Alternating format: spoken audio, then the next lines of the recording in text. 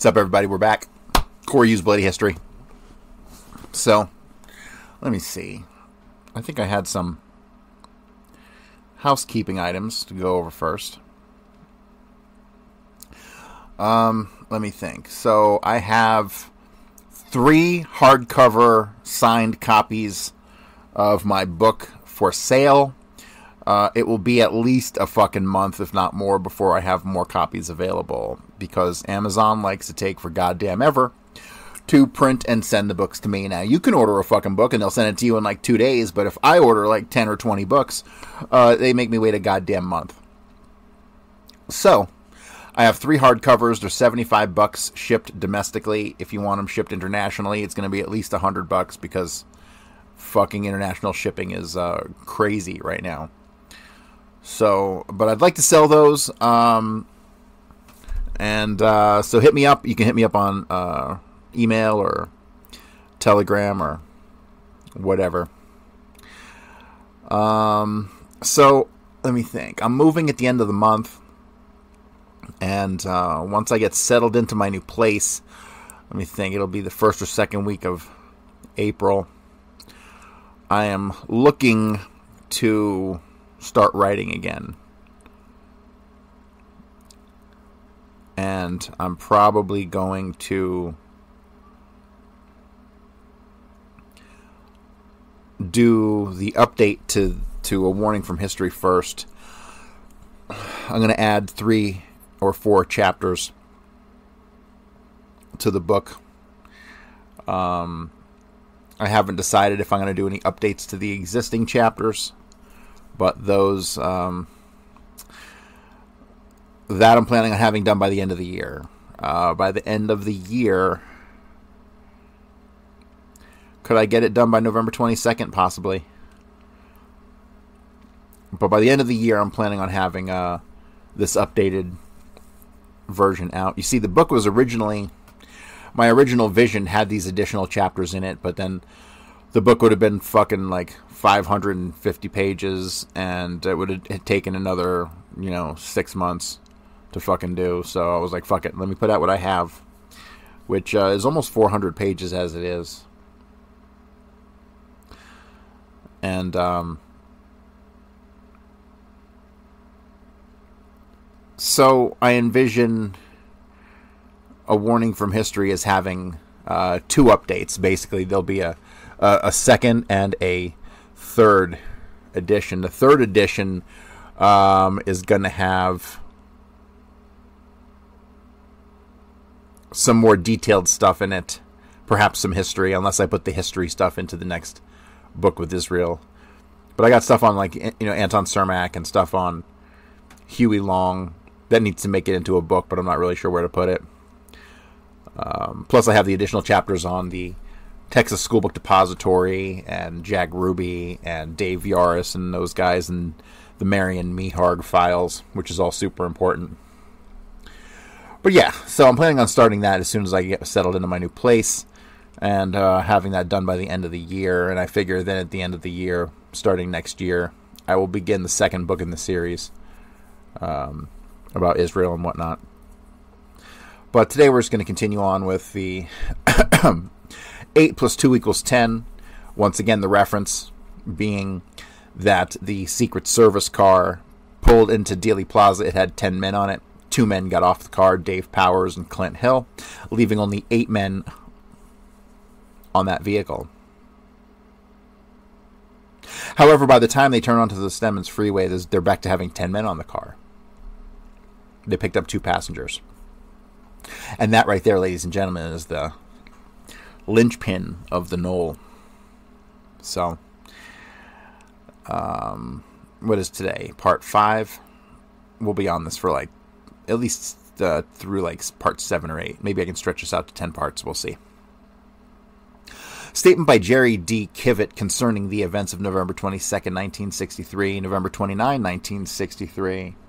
So, what appears is that all of these Secret Service guys they gave a statement on the 22nd that night or that day a pretty short like hey this is what happened while it's still fresh in their memory then a couple days later they were commanded to write another report explain in detail everything. And that's been the pattern we've seen so far. And one thing that I want to point out is that every single person who was present in the Secret Service follow up car, they all state that when Clint Hill runs to the limousine, he gets on the trunk, he instructs Jackie back into the car, and keeps her down below view However, he never enters the car. Every single statement from every single Secret Service agent states that he stayed laying on the trunk.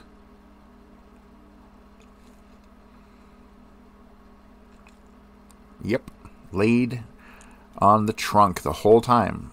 And so he could not have been the man standing in the back seat of the president's limousine as is depicted in the McIntyre number one photograph.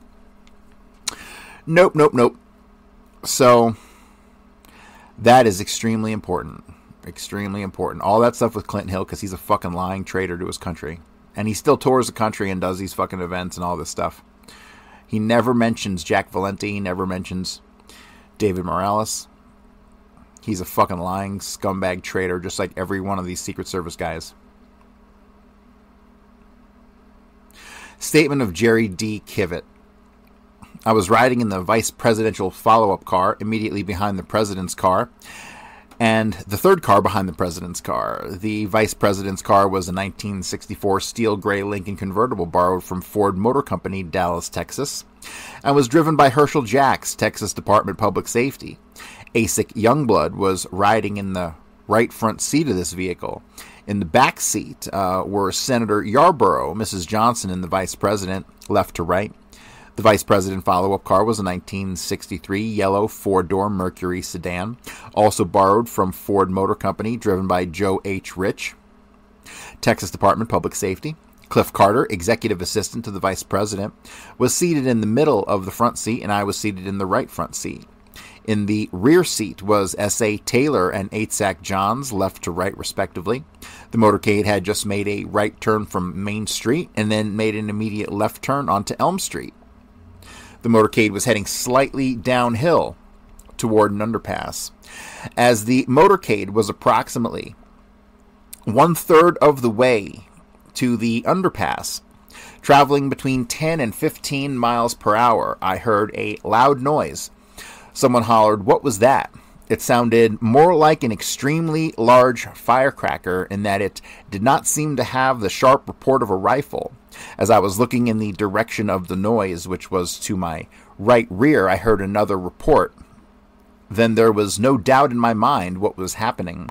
I looked towards the vice presidential car, and as I did so, I could see the spectators, approximately 25 to 50, scattering. Some were falling to the ground, some were running up a small hill, and some were just standing there stunned. Here I heard the third shot.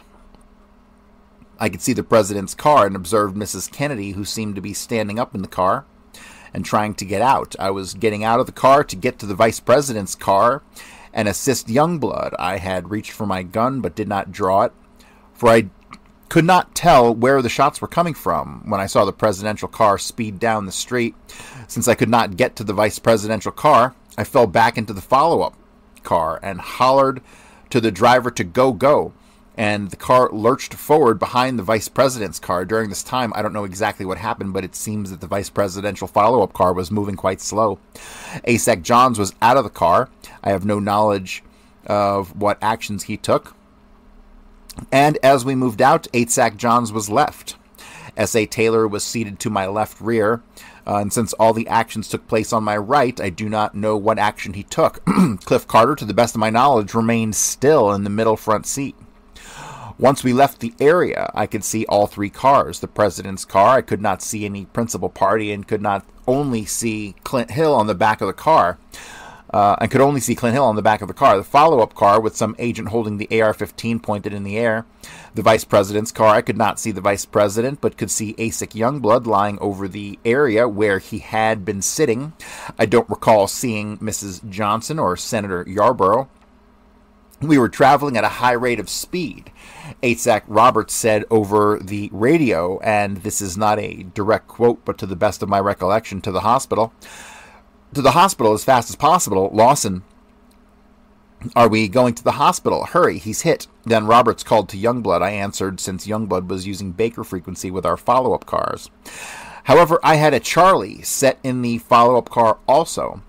Roberts said to cover our man. Good. I replied that Youngblood had him covered. At this point, Youngblood, who had switched his radio to Charlie, answered and stated that he had him covered and to take care of. Uh, we were right behind them. It took approximately four minutes from the time of the first shot was fired until we reached the hospital. As soon as we reached the hospital, ASIC Youngblood and myself ran the vice president into the hospital and continued running with him until we reached an isolated room. S.A. Taylor immediately followed with Mrs. Johnson. As we were taking the vice president into the hospital, Roberts informed him that the president had been shot and was critically injured and probably would die. Once inside the hospital, we had the vice president and Mrs. Johnson in an isolated room. We pulled all window shades as no one would know our exact location. At first, it was the vice president, Mrs. Johnson, Youngblood, and myself. Moments later, Emery Roberts came in and said the uh, president would not make it. A discussion followed as to what action would be taken, and all agents were in agreement that we should leave the hospital as soon as possible, fly to Washington, and go to the White House, which was the safest location for the vice president to go. The vice president asked for Congressman Homer Thornberry and Congressman Jack Brooks to join him in the isolated room. He also asked that someone go to get coffee for he and Mrs. Johnson. Uh, let's pull photographs of Homer Thornberry and Jack Brooks and compare them to the slim suited man seen with Johnson in the in the uh, isolated room at the hospital. Cliff Carter, who also had come into the room, went to get the coffee. Uh, Roy Kellerman came into the room and discussed the president's condition with the vice president.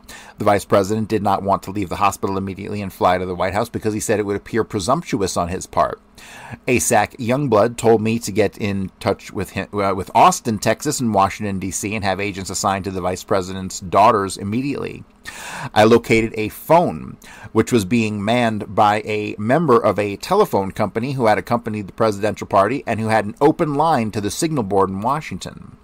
I asked first for Chief Rowley, then Chief Paterni, um, and ended up talking to Chief Wildy, W I L D Y. I told him to call Austin and have an agent assigned immediately to Lynda Bird Johnson, and she could probably be located at uh, Kinsolving Dormitory, University of Texas. That an agent should also be assigned immediately to Luci Baines Johnson, who could best be located at National Cathedral for Girls, Washington, D.C. Since I was uh, talking to the signal board, I asked for Austin, Texas. I talked to S.A. Payne, advised him to get an agent with Lynda as soon as possible. He put S.A. Lockwood on the phone, and I told him to find Lynda and stay with her until he heard further word, and that she was probably at Kinsolving Dormitory, University of Texas. Upon completing these calls, I went back to the room where the vice president was. Mrs. Johnson stated that she would like to visit Mrs. Kennedy and Mrs. Connally. Someone I don't remember who, I think it was a member of the hospital staff, showed Mrs. Johnson to Mrs. Kennedy's location and to Mrs. Connally's location, where she visited briefly with each. She was accompanied at all times by S.A. Taylor and myself. Upon returning to the isolated room where the vice president was located, I overheard Ken O'Donnell tell the vice president that the president was dead. It was then decided to leave the hospital immediately. ASAC Youngblood told me to get in touch with Air Force One to advise them to fuel for a cross country flight and to move to another part of the airport. I located a phone which was open to the Dallas signal board and contacted Air Force One. Cannot recall who I talked to. I advised them to refuel the plane for a cross country flight and to move it to another location. Oh, one more thing, if uh, guys, if you can pull the uh, transcripts of the conversations between Air Force One and anyone else that day. I was advised that the plane was refueled and ready to go, and that they were in the process of trying to um, locate another location. I told them to call me back as soon as they moved to a new location. I returned to the room where the vice president was, and Youngblood told me we are leaving right now. We exited from the hospital by the same room we had entered.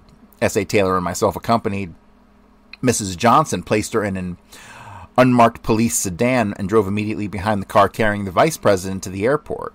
A car of Secret Service agents followed directly behind us. This vehicle, the one Mrs. Johnson was in, was driven by a uniformed police officer, name unknown, with S.A. Taylor, S.A. Bennett in the front seat. In the rear seat were Congressman Brooks, Mrs. Johnson, and myself, left to right. I requested Mrs. Johnson to crouch down in the seat so that she could not be seen from the outside. She did so immediately. Upon arrival to the airport, Love Field, S.A. Taylor and myself ran Mrs. Johnson up the ramp into the airplane. Upon instructions from ASIC Youngblood, all window shades in the airplane in the airplane were pulled down, and checkpoints were established at both doors leading to the vice president's area of the airplane, Air Force One. At first, uh, the vice president was put in the stateroom, i.e., where the beds were. However, he said this was in bad taste and he moved up to the sitting room where the table and television set are located. At first, inside the area where the vice president, uh, Mrs. Johnson, Cliff Carter, Marie Fehmer, Jack Valenti, members of the vice president's staff, Paul Glynn, vice president's Air Force valet, ASAC Youngblood, and myself. S.A. Taylor manned the checkpoint at the front door leading to the stateroom, and S.A. Bennett manned the checkpoint at the rear door leading to the stateroom. There followed a series of conferences between the Vice President, Congressman Homer Thornberry, Congressman Jack Brooks, and Albert Thomas. The Vice President and the others in the stateroom uh, were also were also watching television accounts of the president's assassination. I do not recall what necessarily was discussed at one time or another. Various members of the White House staff came back to the stateroom to talk to the vice president. It was decided that the plane would remain and wait for Mrs. Kennedy and the president's body. Malcolm Kilduff asked me to inquire of the vice president if he wanted any press to go back on the plane with him. I inquired of the vice president's uh, wishes in this matter, and he said, Yes, let me talk to Kilduff. I then asked Kilduff to come in and talk to the vice president. About this time, we, received word that Mrs. Kennedy and the president's body were on the way. During the discussions that took place in the stateroom, the vice president stated that he had talked with the attorney general, and they agreed that the vice president should take the oath of office of President of the United States as soon as possible.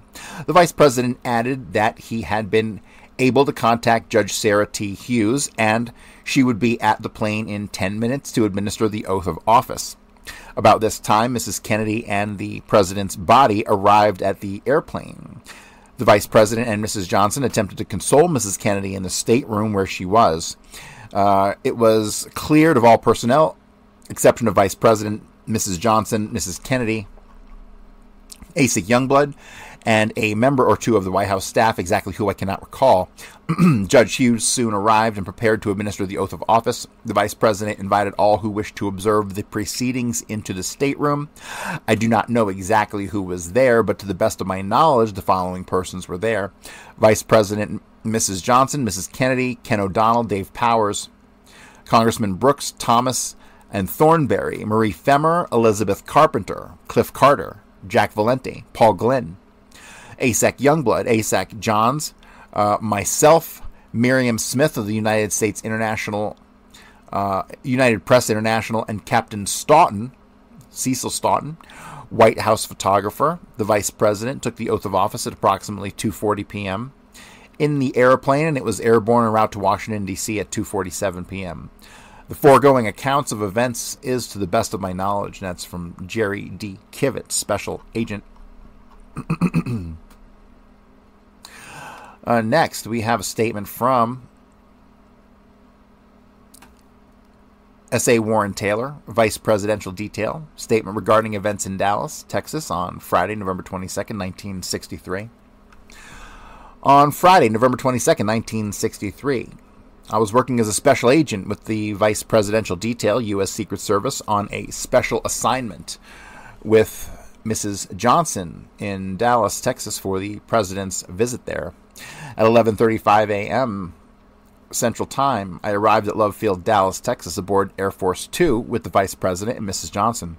Vice President and Mrs. Johnson disembarked from the plane, and I remained in close proximity to Mrs. Johnson while she and the Vice President went over to a crowd awaiting the President's arrival behind a fence surrounding the field. Vice President and Mrs. Johnson were at the foot of the ramp upon which the President and Mrs. Kennedy disembarked from Air Force One at 11:38 a.m. Again, I was in close proximity to Mrs. Johnson. President and Mrs. Kennedy and Vice President and Mrs. Johnson all went back to the area of the general public and again shook hands for a short period of time. At 11:50 a.m. Central Time, the presidential and vice presidential motorcades departed Love Field, and at that time I was working the vice presidential follow-up car. The automobile in which I was riding was a late model Ford four door sedan driven by an unknown man whom I was later told is an officer with the Texas Department of Public Safety. Special Agent Kivett was riding in the front right seat, and ASAC uh, Johns was in the right rear seat. Uh, Mr. Cliff Carter, remember the vice president's staff, was riding in the middle front seat, and I was in the rear left seat. On the way to the Trade Mart, where the president was to speak, large crowds of people were along the side of the road, and as we entered the downtown area, I observed extremely large crowds along the street and in all the windows of large buildings the, on the route. Our automobile had just turned a corner. The names of the streets are unknown to me. When I heard a bang which sounded like a possible firecracker, the sound coming from my right rear, out of the corner of my eye and off slightly to the right rear of our car, I noticed what now seems to me might have been a short piece of a uh, streamer flying in the air close to the ground, but due to the confusion of the moment, I thought that it was a firecracker. As a matter of course, I opened the door and prepared to get out of the car. In the instant that my left foot touched the ground, I heard uh, two more bangs and realized that they must be gunshots. Also, at that instant, the car paused slightly, and I heard something over the radio to the effect that something or someone had been shot. At that moment, the car picked up speed, and I pulled myself back into the car. During the aforementioned, I also noticed that ASAC Johns had completely jumped out of the, out of our car, and as we sped away, I believe he was knocked to the ground and left in the street. I recall hearing S.A. Kivett telling the driver to go, go, and stay right behind the car. During all of the aforementioned, I could see ASAC Youngblood in the vice president's car immediately in front of us jump to the back seat and cover the vice president. I was not looking at the president's car at the time and did not notice his car until we were well on our way to Parkland Hospital. When he did point my attention to the president's car, I could only notice uh, Hill White House detail laying across the trunk lid of the president's car. At no time subsequent to the first shot that I ever see the president uh, and what happened to him. Note, once again, we have another person saying that Clint Hill just laid on the trunk of the car. Hopped up on the back, laid on the trunk. Never stood in the back seat.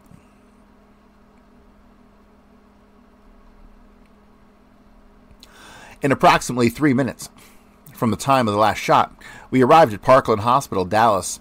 When we arrived at the hospital, uh, I jumped out of the follow up car, grabbed Mrs. Johnson from her car, and took her as quickly as possible into the hospital, following the vice president. We went immediately to what I believe was a room in the emergency section of the hospital, a large room divided into sections by curtains hanging from the ceiling to the floor. Vice President and Mrs. Johnson, accompanied by ASIC Youngblood and S.A. Kivett, went immediately to one corner of the room, and I proceeded to uh, move a secretary and an unknown Negro male, whom I believe was a patient, out into the hall. I drew all the blinds and checked the entrances to the room, finding S.A. Glenn Bennett Protective Research Section, uh, who was temporarily assigned to the White House detail.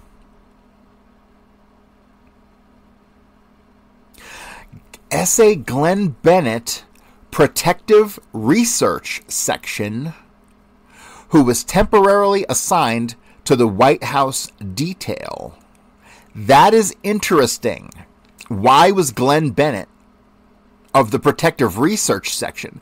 Now, I'm assuming protective research section is like what covers the front guys who would come out to the uh, to the place a day or two before the event itself and scope it out. I would assume that would fall under that because that we would be researching the area for the protective detail, right? So I'm assuming that what these guys do is to us on the outside would probably seem very similar, but to them is very specifically different. Uh, and this is probably a good example of that. So, Glenn Bennett, who was at one point in time part of the protective research section, he was temporarily assigned to the White House detail. I want to know why that is.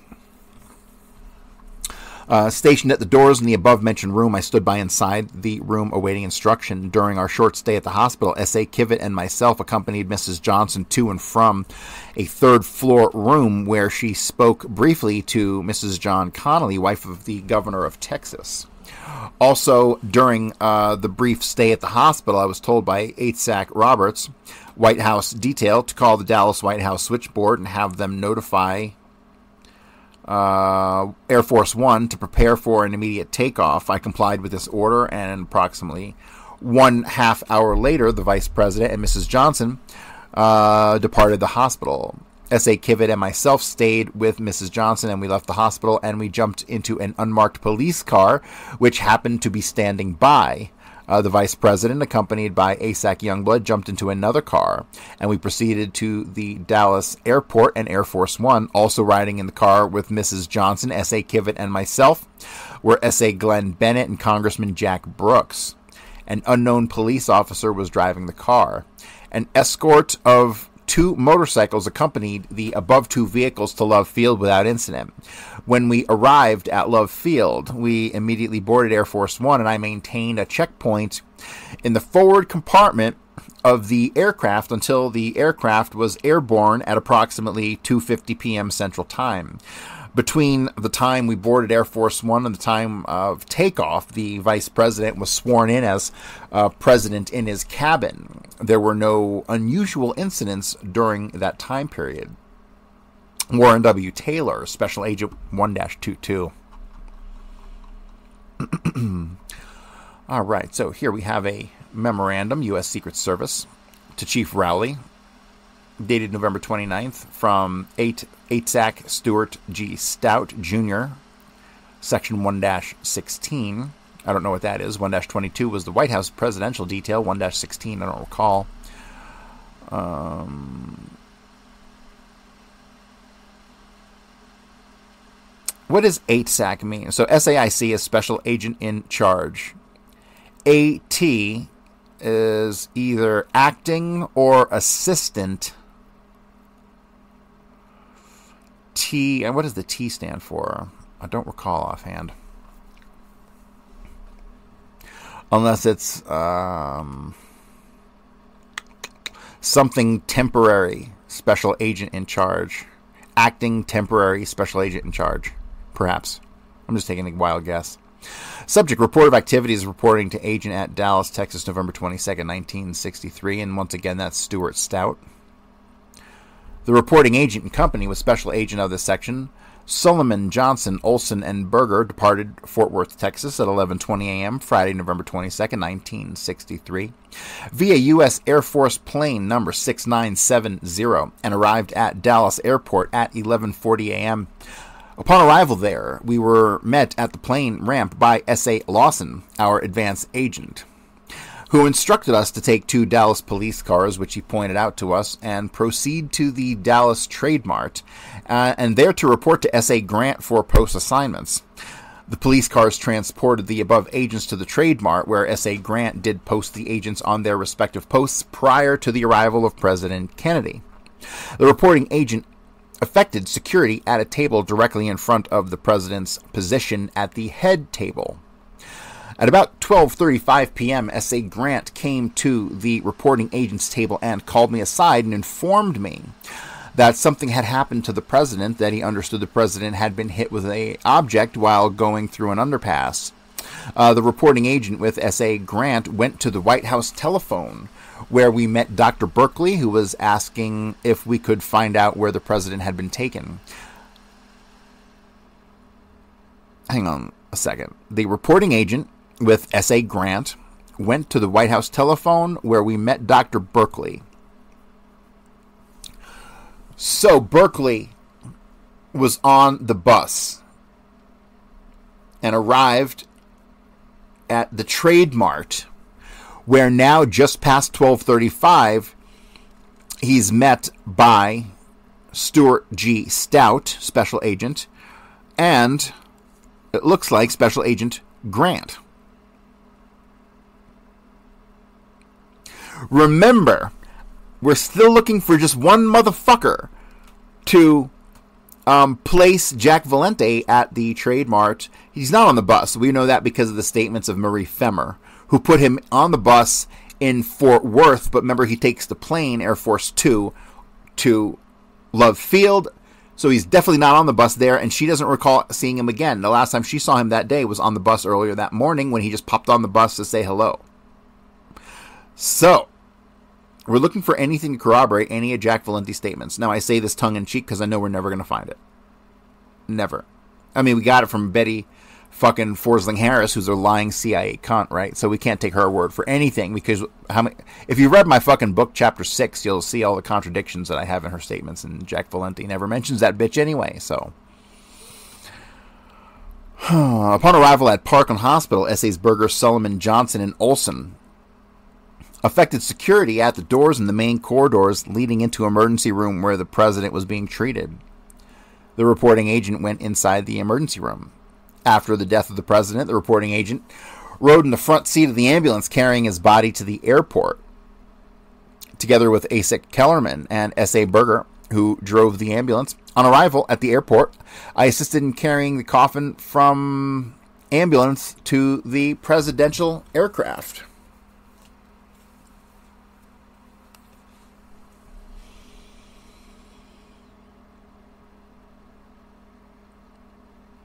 Air Force One departed Dallas, Texas, 2:50 p.m. and arrived at Andrews Air Force Base, Washington D.C., 6 o'clock. And that's from Stuart Stout, approved by Special Agent Gerald Bain, BEHN. On the assassination of President John F. Kennedy, November 22, 1963, Dallas, Texas, Statement of Special Agent David B. Grant, United States Secret Service, concerning his activities and official duties on November 22, 1963. Statement dated December 1, 1963. Shortly before 9 a.m. on Friday, November 22, 1963, S.A. Lawson and I arrived at the Dallas Trade Mart. S.A. Lawson and I checked the final preparations for the president's visit. S.A. Lawson remained at the Trade Mart for a short while and then departed for Love Field, Dallas, Texas, to set up security arrangements prior to the president's arrival. After S.A. Lawson departed, and I discussed the luncheon arrangements with representatives of the Trade Mart and assisted them with the seating of the president and the guests at the heated at the head table and any other problems that came up before the president arrived. With S.A.'s Stewart and Howlett Dallas field office, I rechecked the police security both inside the Trade Mart and outside at the parking lot area where the motorcade would arrive. At approximately 12 noon, I met with ASAC Stout, SAs Johnson, Solomon, Olson, and Berger, who had arrived in Dallas prior to the president. And they were transported to the Trade Mart by police car. I gave them a briefing on the arrangements and assigned uh, them to their respective posts. So, um, just if you'll recall, S.A. Johnson is the one who ends up taking possession of the pointed tip 303 bullet that would later be replaced with the quote unquote magic bullet. A short time prior to the scheduled arrival of the president, I located Mr. Crow and Mr. Stemmons, co owners of the Trade Mart, and we went to the entrance where the president would arrive, and we discussed the procedure they should use when greeting the president and escorting him to the head table while waiting at the entrance where the motorcade would arrive. At approximately 12:25 p.m., I called the White House switchboard and requested the board to contact the motorcade and have uh, them give me a five-minute signal before their arrival. This telephone was located just inside the entrance. Uh, I then continued my discussions with Mr. Crow and Mr. Stemmons outside the entrance where the president's car would stop. In a few minutes, the White House telephone rang, and I was told that the motorcade had given the five minute signal. I went back outside with Mr. Crow and Mr. Stemmons to await the arrival.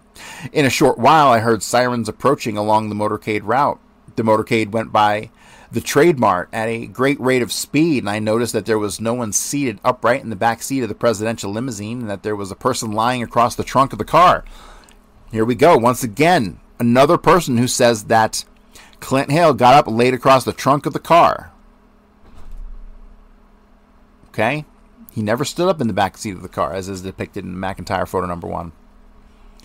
After observing this, I immediately called the White House switchboard for information as to what happened. The operator on uh, the board informed me that he had no information other than he had heard on the base radio that the president had been hit and that the motorcade had been instructed to proceed to the nearest hospital. I then instructed the switchboard to find out what hospital the president had been taken to and the extent of his injury. At this time, I did not know that the president had been shot. I thought that someone had thrown a rock or a stick which had hit him. After receiving this information, I went into the Trade Mart and informed ASAC Stout that something had happened to the president. ASAC Stout and I discussed the incident and decided that uh, we and the other agents should remain at the Trade Mart in the event the injury to the president had not been serious, and that he would, after treatment at the hospital, return to the Trade Mart for the luncheon as scheduled. While awaiting further information, people arrived at the Trade Mart who had been part of the motorcade. These individuals had been in cars that had been unable to keep up with the front part of the motorcade as it sped to the hospital. They indicated to me and to others that there had been some shooting and that the president had been wounded. Upon hearing this, all agents that were assigned uh, to the Trade Mart building proceeded by police car to the Parkland Hospital and assumed posts in the area of the emergency room where the president had been taken. I remained on duty at the Parkland Hospital. While at the hospital, ASAC Stout informed me of the death of the president. I remained at the hospital until the hearse carrying the body of the president, with Mrs. Kennedy riding in the back, departed the hospital for the airport. I rode in the front seat of a Lincoln convertible, which was used as a follow up car directly behind the hearse from Parkland Hospital to Love Field, Dallas, Texas. I assisted in getting the coffin out of the hearse and carrying it aboard Air Force One. I remained at Love Field from that time until after Air Force One departed for Washington, D.C. After the departure of Air Force One, S.A. Lawson, Chief of Police Curry, and I proceeded to Dallas Police Headquarters. There had been a radio report of an individual that had been apprehended for the murder of a Dallas police officer. The thought was that the uh, assassination of the president and the murder of the Dallas police officer could be related. Upon arriving at police headquarters, we located SAIC Sorrells, who was in conference with Captain Fritz, homicide supervisor, Dallas Police Department, from this time until approximately 4 a.m. the morning of November 23rd when I departed police headquarters with Inspector Kelly, who had arrived late that evening. I, along with SAIC Sorrells, S.A. Lawson, and other agents from the Dallas field office, assisted the Dallas police and Captain Fritz with the homicide investigation. I returned to Dallas Police headquarters at 8 a.m. this same morning with Inspector Kelly. I remained at police headquarters providing what assistance I could until approximately 8:30 p.m. I departed Dallas, Texas aboard American Airlines flight number 628 at approximately 12 midnight carrying a blow up of the photograph showing Oswald holding a rifle similar to the one used in the assassination which I was to deliver to our agents at the White House fucking. I'm not even gonna get into it, but that's hilarious. I arrived in Washington D.C. approximately 7 a.m. on the morning of November 24th, 1963, and delivered the photograph of the White House. That's a statement of David B. Grant, okay? But he just said here he was there all fucking day on the 23rd until 8:30 at night. I want his report. So if you guys can find his report from November 23rd of what the fuck he did all day long, that could be quite helpful. All right, here we have the. Uh, here we have statement of David Grant, but check this out. Statement of Special Agent David Grant, White House detail concerning advance arrangements made at Dallas, Texas, November 19th through 22nd, 1963, for the visit of President Kennedy to Dallas, Texas, November 22nd, 63. Statement made on December 1st. Okay, how short is this one? Um, it's really fucking short. Okay, so he doesn't talk about what he did that day on the 23rd. Why? I arrived in Dallas, Texas aboard Delta Airlines flight number uh, number 821 at approximately 7:30 p.m. on the night of Monday, November 18th, 1963, from Palm Beach, Florida, to assist S.A. Lawson in the arrangements for the president's visit. I was met upon my arrival by S.A. Lawson, who transported me to my hotel. The next morning, Tuesday, November 19th, 1963, S.A. Lawson and I went to the Dallas field office where I met SAIC, Special Agent in Charge Sorrells, and the other field agent, uh, officer agents, uh, S.A. Lawson and SAIC Sorrells, briefed me on the arrangements that had been made for the visit. After this briefing, we proceeded to the Dallas Trade Mart and met with representatives of the Trade Mart and Dallas Police Department. We discussed again uh, with these individuals the committee's program and the president's activity while he was attending the luncheon. We then surveyed the building extensively with senior Dallas Police Department officers locating security post assignments um, throughout the building. On Wednesday, November 20th, 1963, I accompanied SAIC Sorrells and SA Lawson to Love Field, where the spotting of Air Force One was discussed, the forming of the motorcade, the route of the motorcade off the ramp, and general security arrangements were agreed upon. When we departed Love Field, we returned to the Dallas Trade Mart for more discussions with the representatives there. On Thursday, November 21st, 1963, SAIC Sorrells and I met S.A. Lawson at Mr. Sam Bloom's office in Dallas. Mr. Bloom was one of S.A. Lawson's contacts for the visit. Following the meeting there, uh, we proceeded to Love Field and finalized the security arrangements at the airport with Dallas police officers. After departing the airport, we returned to the Trade Mart again and had discussions with their representatives. SAIC Sorrells, S.A. Lawson, and I then went to the Continental Bus Company. Huh? Where S.A. Lawson briefed the supervisors on the requirements and duties of the buses and drivers in the motorcade. The Continental Bus Company. That shit keeps popping up.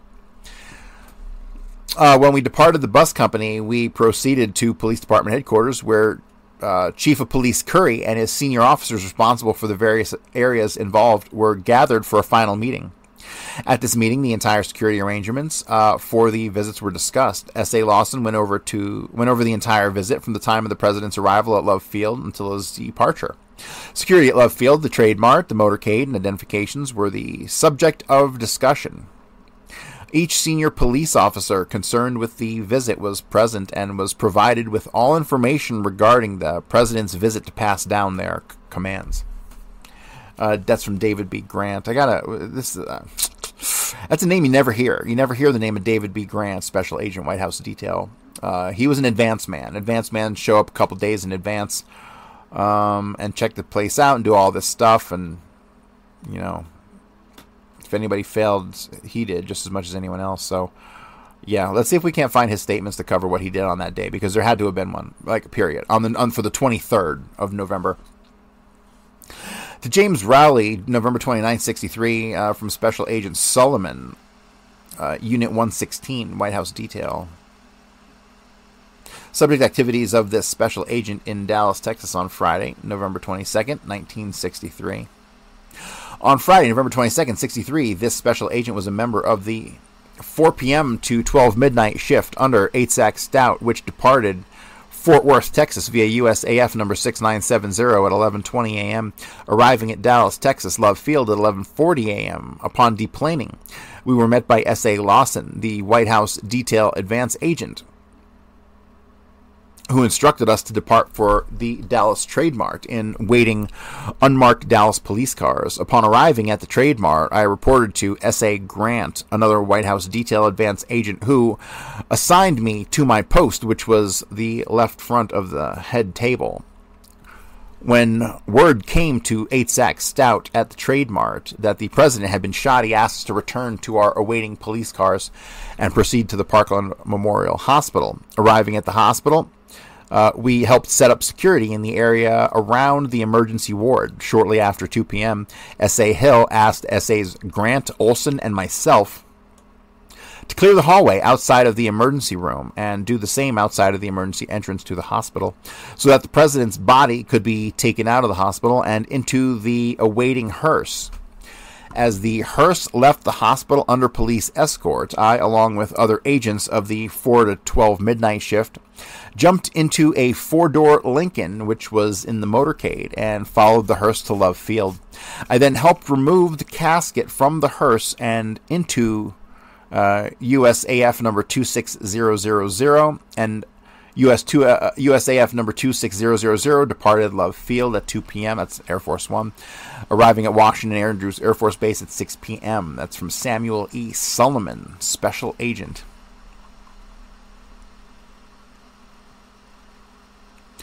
Memorandum, Chief James J. Rowley, November 30th, 1963, from S.A. Olson, 116, White House Detail. So the designations 1 16 and 1 22 are both White House detail. So therefore, I'm assuming the 16 or 22 part is going to be an indicator of shift. Subject activities in Dallas, Texas on November 22nd, 63. On Friday, November 22nd, 1963, while under the supervision of 8 Stuart G. Stout, I departed Fort Worth, Texas with via USAF 6970 at 11:20 a.m and arrived at Love Field, Dallas, Texas, 11:40 a.m. Upon arrival, we were met by Special Agent Lawson, White House Detail Advance Agent. We were immediately transported to the Dallas Trade Mart via unmarked Dallas police cars. At the Trade Mart, we were met by Special Agent Grant, another White House Detail Advance agent, and I was placed on my security post at the right front of the head table, at which the president was to be seated.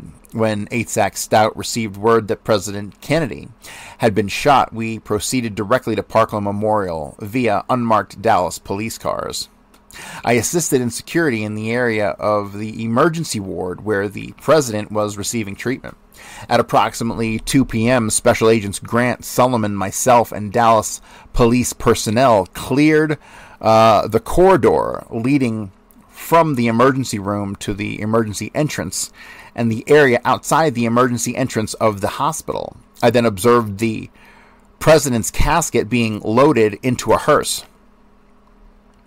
I and then and other Secret Service agents then proceeded via automobile to follow the hearse containing the president's casket to Love Field, Dallas, Texas, where we loaded the casket aboard U.S. Air Force 26000 and departed Dallas, Texas via this same aircraft, arriving at Andrews Air Force Base, Maryland at 6 p.m.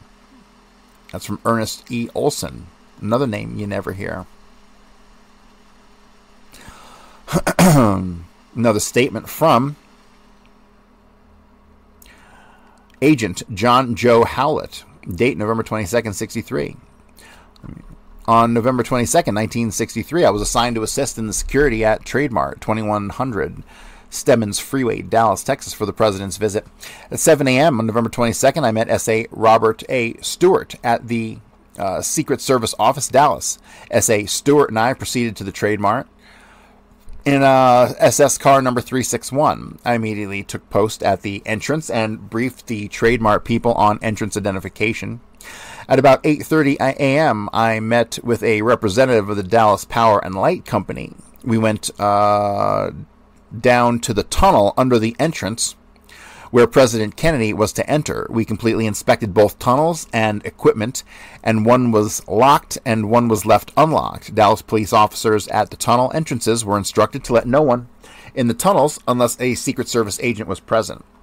I returned to my post of duty and checked on the entrance procedures in uh, in, pro- in the process. I then went to the head table and uh, assisted S.A. Robert A. Stewart by crawling under the head table and making an inspection for any dangerous objects and stability of the head table platform. I then returned to my post of duty to check on entrance procedures and uh, re, uh, retained at this point, except when uh, it was necessary to leave, and remained at this point, except when it was necessary to leave and talk with uh, S.A. Robert Stewart, S.A. Win Lawson, and S.A. Dave Grant, or one of the committee members. I was informed of the five minute arrival time, and a few minutes later was advised, advised by S.A. Dave Grant that the president had been hit with something and to remain at my uh, post of duty. A short time later, it was confirmed that the president had been shot and I was advised by one of the special agents of the White House detail to get S.A. Robert Stewart and proceed to Parkland Hospital. I located S.A. Robert Stewart in the vicinity of Head Table and informed him we were to proceed to Parkland Hospital.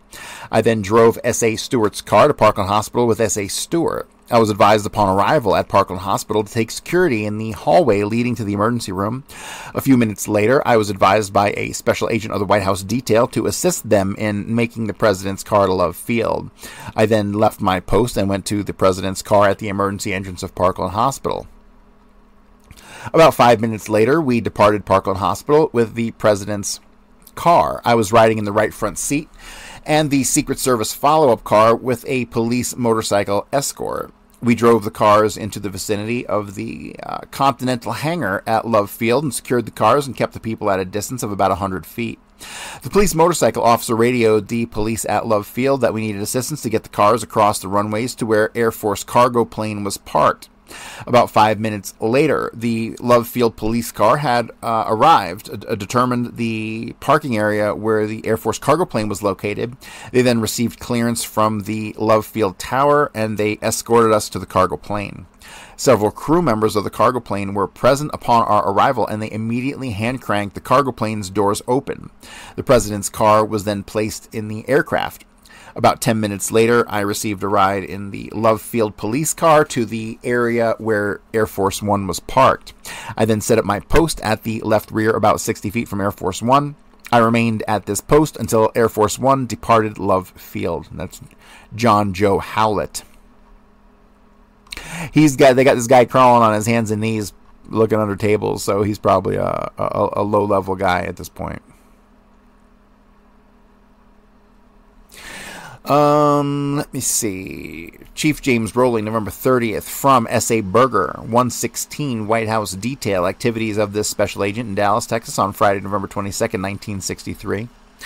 On Friday, November 22nd, 1963, this special agent was a member of the 4 o'clock to midnight shift under ASAC Stout, which departed Fort Worth, Texas via USAF number 6970 at 11:20 a.m., arriving at Dallas, Texas Love Field at 11:40 a.m.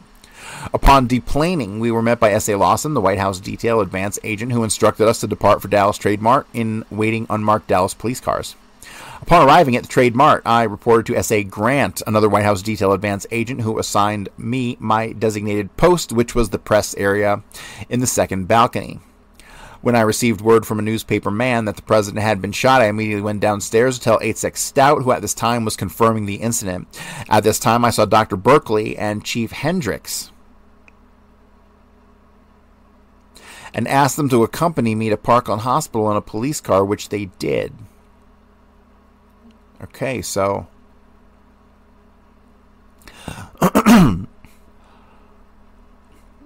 let's, let's, we're trying to narrow down a timeline here, right? So, when I received word from a newspaper man, the president shot, I immediately went downstairs.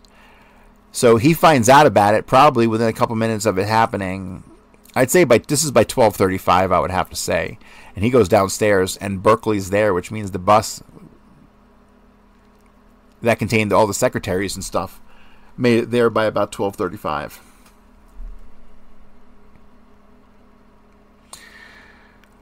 Hmm. The remainder of the 4 to 12 shift then arrived with S.A. Johnson, being posted with me. Soon after, Mr. Dave Powers asked where the priest was, with S.A. Johnson holding the post the reporting agent went to the outside of the hospital where I saw two Catholic priests who I asked to accompany me to the emergency room. Shortly thereafter, FBI agent Vincent Drain, Commission Book Number 5067, Dallas office, arrived at the room entrance.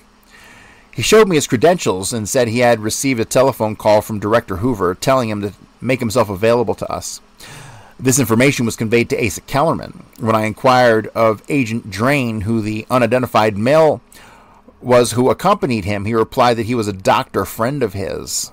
That's fucking weird.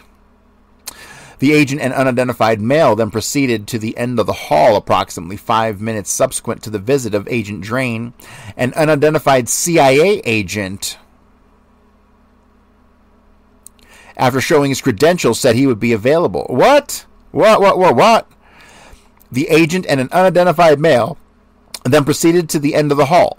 Approximately five minutes subsequent to the visit of Agent Drain, an unidentified CIA agent, after showing his credentials, said he would be available. Really? So a CIA agent showed his credentials.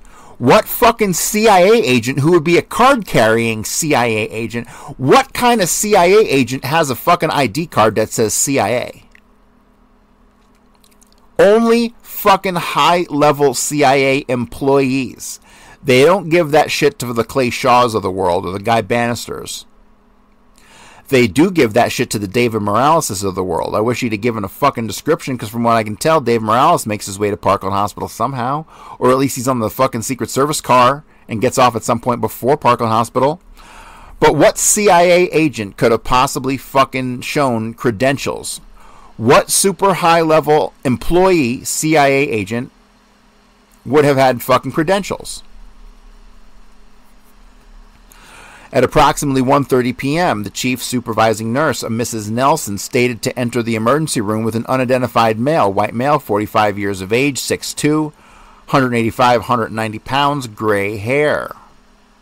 As the reporting agent and S.A. Johnson started to ask his identity, he shouted that he was FBI. Just as we began to ask for his credentials, he abruptly entered the emergency room and had to be forcibly restrained by us. ASAC Kellerman then appeared and asked this individual to go to the end of the hall. Congressman Olin E. Teague, Texas, witnessed this incident and verbally stated to this agent that if there are any inquiries in the future, he'd be more than glad to give a statement to the service in the service's behalf.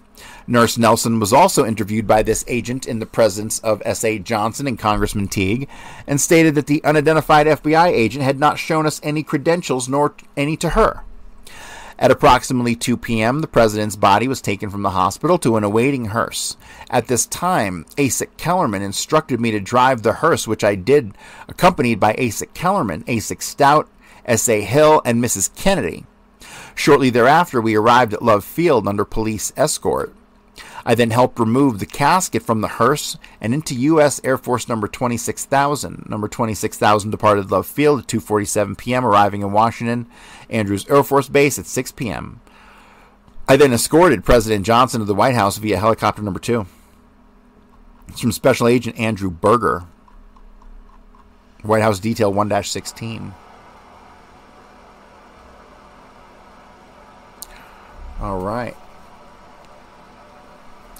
Um, this is a statement from Robert Stewart, November 22nd, 1963. On November 22nd, 63, about 7 a.m., met Special Agent John Joe Howlett at the Dallas office. We proceeded together to the Trade Mart Building, 2100 Stemmons Freeway, Dallas, Texas, to take up our posts of duty in connection with the President's visit to Dallas. We traveled in government owned autos, SS 361.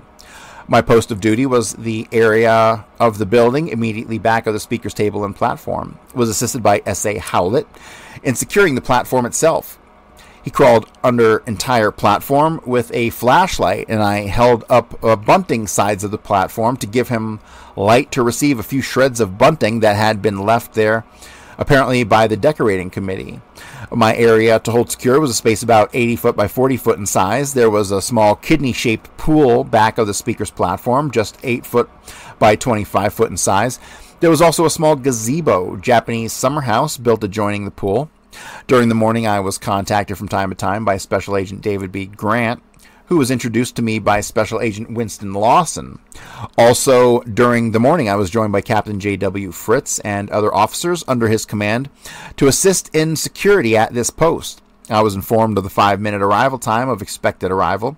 A few minute, a few moments later, Special Agent Grant informed Special Agent Howlett and myself that he just learned the president had been hit with something that we should remain at our duty posts.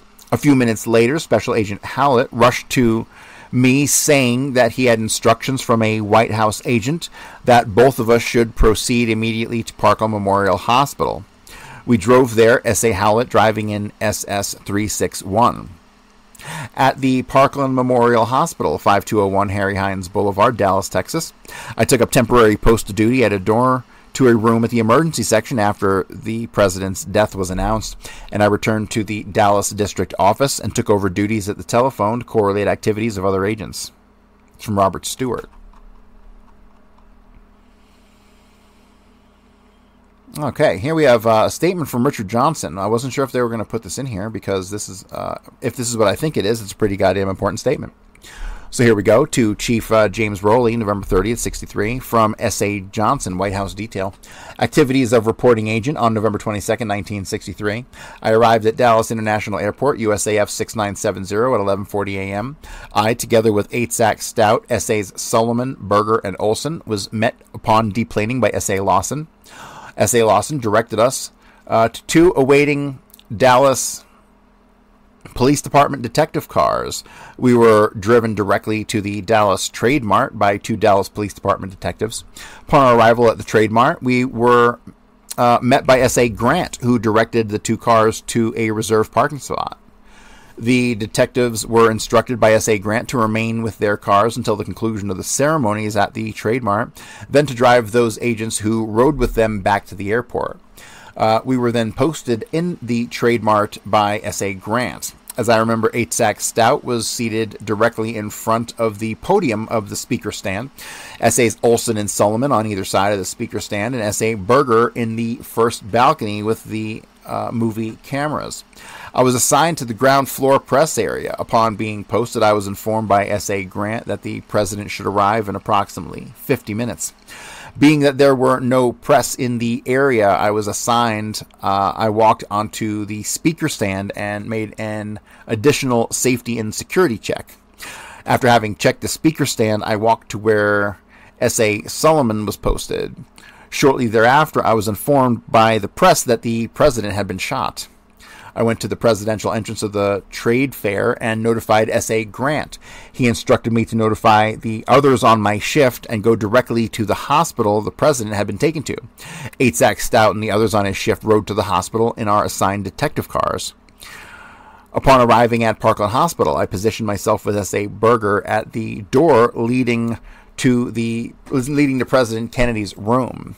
At various times, I was taken from this post and positioned outside the vice president's room with S.A. Bennett. At approximately 1:30 p.m., I was outside of the president's room with S.A. Berger when Chief Nurse Nelson entered the president's room. She was followed by an unidentified man, white male, 40 to 45 years of age, six foot two, 185 pounds, gray hair. When S.A. Berger and I stopped him, he said FBI and made a determined effort to enter the president's room. We stopped him and asked for his credentials. He again tried to forcibly enter the president's room and had to be restrained. After he had been subdued, he produced his FBI credentials. At this time, Asa Kellerman appeared and asked the FBI agent to go to the end of the hall. Congressman Olin Teague witnessed this incident. Uh, S.A. Berger was assured by the congressman that the FBI man had not attempted to produce any identification and appeared to be determined to enter the president's room. He stated that if there were any inquiries, that he'd be more than glad to give a statement in our service's behalf. Uh, Nurse Nelson was interviewed by S.A. Berger in my presence. She stated that the FBI agent had shown her no identification. Approximately five minutes prior to leaving the hospital with the casket and Mrs. Kennedy, I was instructed to remain at the presidential door and wait uh, to be advised that the casket was leaving uh, the hospital and then ride the follow up card to the airport. During this period, a Mr. Wright from the security staff came to me with an expended bullet and wished to turn it over to a Secret Service agent. The only information I was able to get from him prior to the departure of Mrs. Kennedy and the casket was that the bullet had been found on a stretcher which President Kennedy may have been placed on. He also stated that he found rubber gloves, a stethoscope, and other doctor's paraphernalia on the same stretcher. On the drive from the hospital uh, to Air Force Number One, I rode in the follow up car. Upon our arrival at Air Force One, I assisted in placing the casket upon USAF number 26,000. While waiting for the departure of Air Force One, I was instructed by ASAC Stout to ride in the rear of the plane with the casket. This had been a request of President Johnson. Upon our arrival at Andrews Air Force Base, Maryland, I positioned myself near the press room. After the uh, statement to the press by President Johnson, I rode helicopter number two to the White House, and that's from Richard Johnson on 116.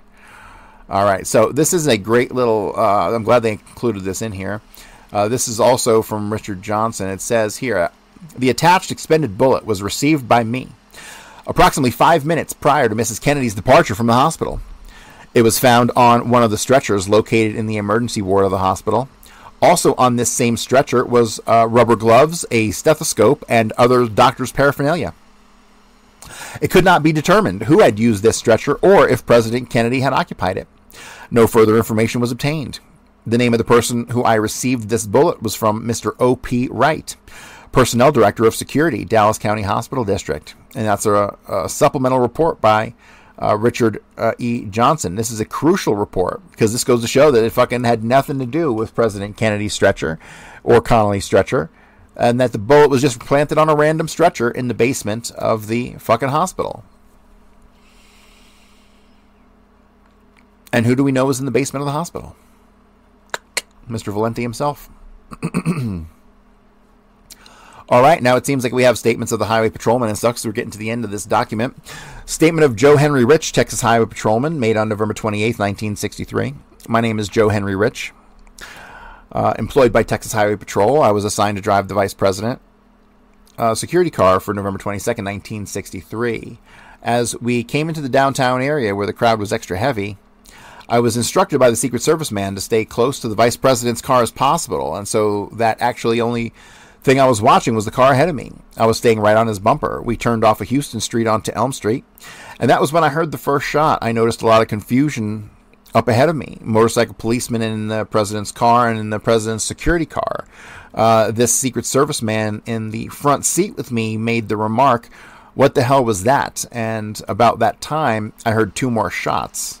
Uh, there could have been more shots, but I could not say. The cars ahead of me started up at a fast pace, and the Secret Service man advised me to get the hell out of there. So I stayed as close as I could to the Vice President's car on the way to the hospital.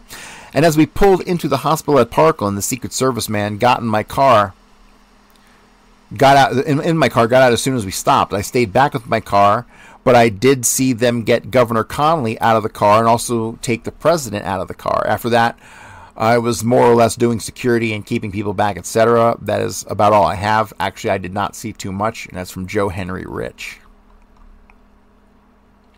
Now we have a statement from uh, Herschel Jacks, Texas Highway Patrolman, made November 28, 63. My name is Herschel Jacks, Texas State Highway Patrolman. I was assigned on November 22, 1963 to drive the presidential uh, the Vice President Lyndon Johnson in the motorcade from the airport to the Trade Mart through downtown Dallas. Just prior to turning off Main onto Houston, I noticed it was approximately 28 minutes past 12 noon. We just turned from Main onto Houston, drove one block, and turned left. My car had just straightened up from making uh, the left turn. I was looking directionally at the President's car at that time at that time, I heard a shot ring out, which appeared to come from the right rear of the president's car. Mr. Rufus Youngblood, the Secret Service agent riding in my car, asked me uh, what that was, and at the same time, he advised the vice president and Mrs. Johnson to get down. He climbed to the rear of the seat with the vice president and appeared to be shielding the vice president with his own body. At this time, I heard two more shots ring out. Uh, at that time, he told me to get out of there as fast as possible. Uh, I moved my car up directly behind the Secret Service car following the president.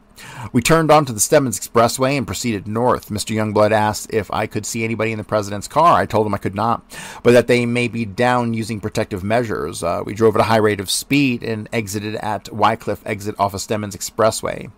We turned right on Industrial Boulevard. Mr. Youngblood then asked me how far it was to the Trade Mart. I told him that we weren't going to the Trade Mart, that we'd already passed the Trade Mart, we turned left onto Harry Hines, and he asked if I knew where we might be going. I told him at the time we'd been turning left uh, into Parkland Hospital. I told him that somebody must have been hit because we were heading for the hospital. We drove to the emergency entrance of Parkland Memorial Hospital. The president's car was stopped in the ambulance parking place. At that time, I saw that the vice president, Mrs. Johnson, and Senator Yarborough was out of my car and safely in that hospital.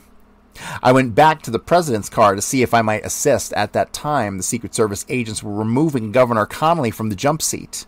I could see that Governor Connally had been hit just below the right shoulder blade in the back. They removed Governor Connally and then picked uh, Mrs. Kennedy from over the president's body. At that time, one of the Secret Service agents said he has been hit. Put your coat over him. One of the agents removed his suit coat and spread it over the president's body from his chest up. Before the president's body was covered, it appeared that the bullet had struck him above the right ear or near the temple. Uh, they removed his body at that time. Reporters began to arrive. Uh, we were assigned by the Secret Service to prevent any pictures of any nature to be taken of the president's car or inside. Statement from Herschel Jacks. And the last statement we have is a statement of Milton Wright, Texas Highway Patrolman, made on November 28, 1963. My name is Milton T. Wright, Texas Highway Patrolman, badge number 790. On November 22nd, I was assigned to drive a 63 Mercury Comet convertible that contained the mayor and his wife and a U.S. congressman we turned onto Houston Street. The parade was going real well, and sped uh, and speed was beginning to pick up. Uh, and the crowd was beginning to thin right at this point.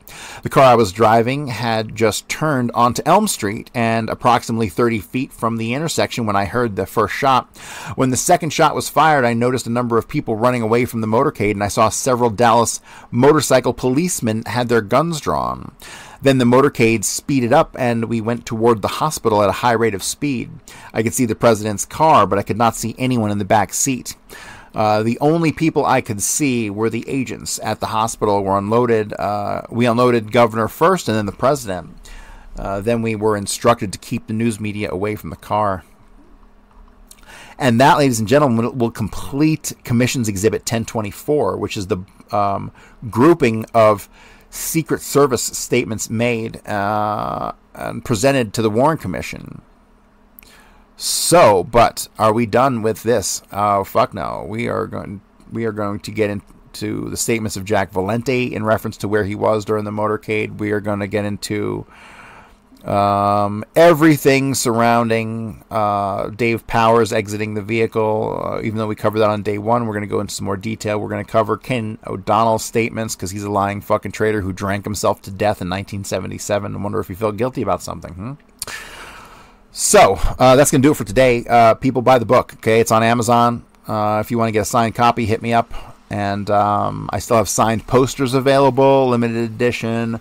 Um, and yeah, so uh, that's going to do it for today. Uh, I'll be back tomorrow with more of 8 plus 2 equals 10. Thank you.